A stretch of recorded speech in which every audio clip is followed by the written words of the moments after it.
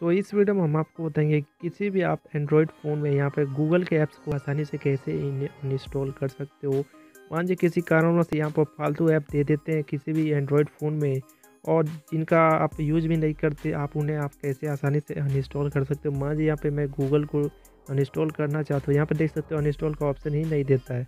तो इस वीडियो में हम आपको बताएँगे कि आसानी से किसी भी गूगल के ऐप्स को आसानी से कैसे अनइंस्टॉल कर सकते हो? सिंपली मान लीजिए मैं लेंस को यहाँ पे अनइंस्टॉल करके दिखाता हूँ। यहाँ पे इस पर मैं टाइप करता हूँ। यहाँ देख सकते हो अनइंस्टॉल का ऑप्शन ही नहीं दे रहे हैं। तो आपको सिंपली क्या करना है, जिस भी गूगल ऐप को डिलीट करना है, यहाँ पे उस पर टाइप किए रहना है। टाइप किए रहने के बाद यहाँ पे एक ऑप्शन मिलेगा ऐप इन्फो का। इस पर क्लिक करना है। इस पर क्लिक करने के बाद एक ऑप्शन आपको यहाँ पर दिया जाता है डिसेबल का। तो डिसेबल पे जैसे आप क्लिक करोगे तो एक ऑप्शन आप यहाँ देख सकते हो। If you disable this app it will be close and remove from the home screen and system तो आपको डिसेबल ऐप जैसे ही आप क्लिक करोगे, आपका पासवर्ड डाल देना है यहाँ पे।